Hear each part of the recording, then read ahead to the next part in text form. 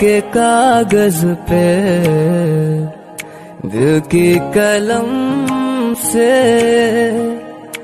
पहली बार सलाम लिखा, पहली बार सलाम लिखा, मैंने खत महबूब के नाम लिखा, मैंने खत महबूब के नाम Subscribe to my channel. And also press this bell